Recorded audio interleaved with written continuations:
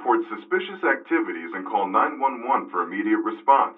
Expect delays, searches of personal property, and restricted access to public buildings. Expect traffic delays and restrictions. Take personal security precautions to avoid becoming a victim of an attack.